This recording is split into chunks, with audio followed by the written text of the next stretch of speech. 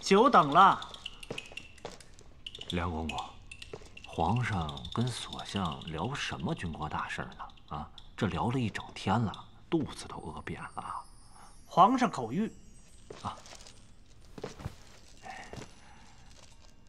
皇上说：“站着听。”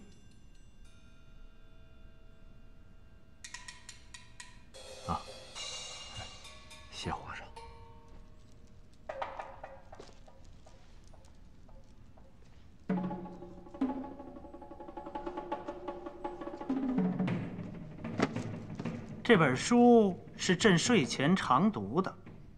高大人是饱学素儒。由你注音，标出字义。朕在宫里等着。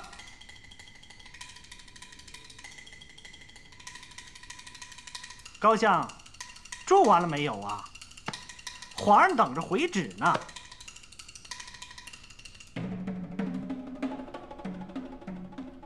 你倒是翻呐！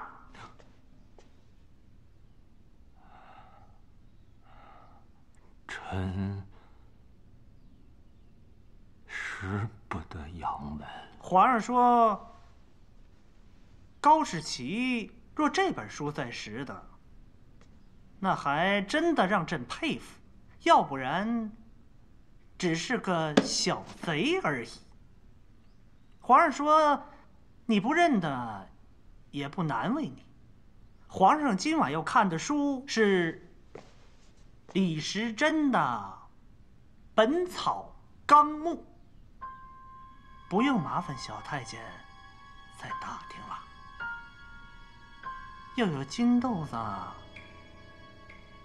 可以交给梁九公。皇上说，今晚要批复福建几个道的缺儿。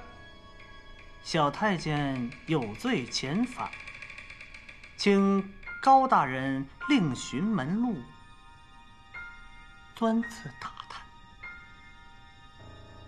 皇上还说，高士奇是个书生，事无巨细都要管，就有点像诸葛武侯了，早晚。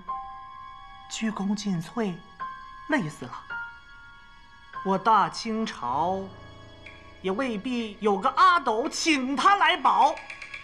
皇上说：“高大人回家歇着吧，读读前后出师表。”皇上说他骑射布库，不输满洲武士，学问一道，能诗词，会书画，精天文，明地理。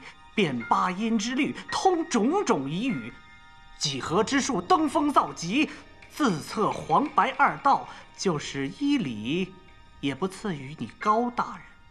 主子若不是皇帝，你比得过他吗？